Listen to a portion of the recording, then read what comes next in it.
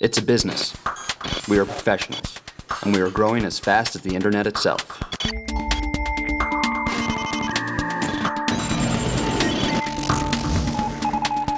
The first thing to be aware of is that whether you're looking to take down a rival's website, steal someone's identity, or take control of a network, your first target isn't IT infrastructure.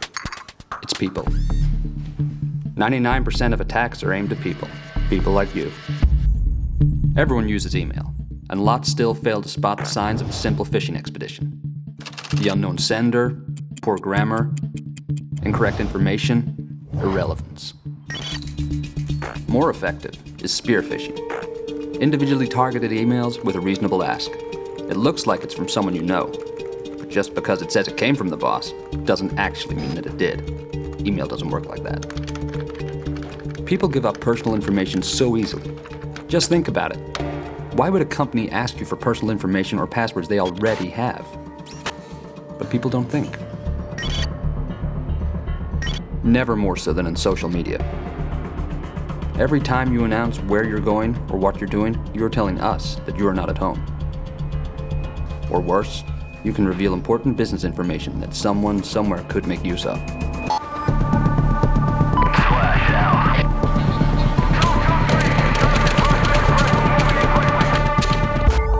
If you want to get on the inside of a business, target the individuals that work there.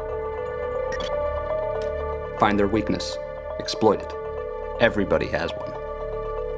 Just because you think you're talking to a beautiful girl doesn't mean that you actually are. We're all human. Some people are easily led into careless or foolish acts. Leave them open to blackmail. Control the individual, and we can control what you do. People are the weak link. How many passwords do you have? People use the same password for their bank, their Facebook, their LinkedIn, their tax return. If I get your password, I can act as though I'm you. Spend your money, take out loans, even sell your house. I'll change the address for your statements, divert your emails. By the time you find out, I could have spent hundreds of thousands of dollars and committed crimes in your name.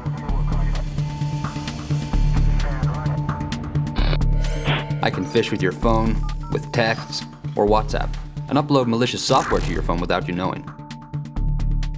When you connect it to a computer, the software can get to work, paralyzing the system until you pay up, or whatever we want to achieve. Technology is my friend.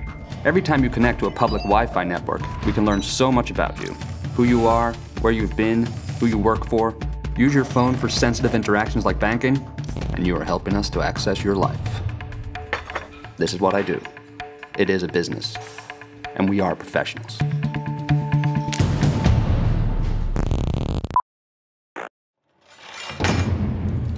Haziq Mohammed spent three weeks in a foreign prison before he was able to establish his innocence. On his return home, he found the cybercriminals had spent $12,000 on credit cards. His driving license had been used for insurance fraud, which had led to his arrest. Jeff Daniels couldn't face the images he shared with his virtual sex partner online, being seen by family and friends. So he followed the blackmailer's demands and installed a remote device on his company's network. He worked at a large European port. With remote access, a criminal gang were able to alter records to enable goods to be smuggled out of the port, unseen by customs. Christos Stamatis regularly posted information about his work on Facebook. As the chief of a container ship, travelling down the East African coast, he might have thought more carefully about who might be interested in this information. But it was his casual attitude towards how he used his personal devices on board that caused the most trouble. Having fallen for a texted phishing link, his phone was infected with malware. When he used the USB connection on Ecdis to charge his phone, the malware crashed the system. Without its primary means of navigation, the ship was forced to divert for repairs, causing a lengthy and costly delay to its voyage. Christos is now looking for a new job. Cybercrime is real. They target us because we are a weak link. Treat your personal and your company information like you would your cash or passport. Never hand it over unless you are 100% sure that you know who you are giving it to. Post on social media sensibly. Update your password to include letters, numbers, capitals, and symbols. Keep different passwords for different sites. Watch out for unsolicited and irrelevant emails with urgent requests for you to click on a link or upload information. Never assume that an email is from who it appears to be from. Never charge your personal devices on ship equipment. Use a dedicated USB charger. Surf the web with care. Stick to known sites. Avoid tempting links and free downloads.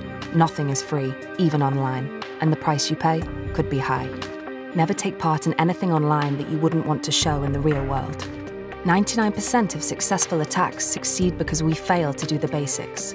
Someone opens the attachment, clicks on the link, plugs something in. It only takes one careless click to expose the entire network. Make it difficult for cybercriminals. Don't be the easy target.